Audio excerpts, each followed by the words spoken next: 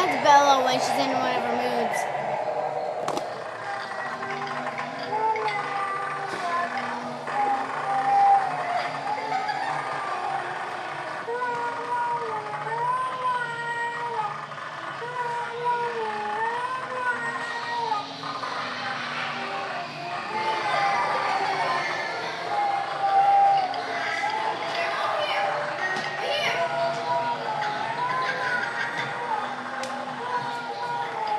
Do it again.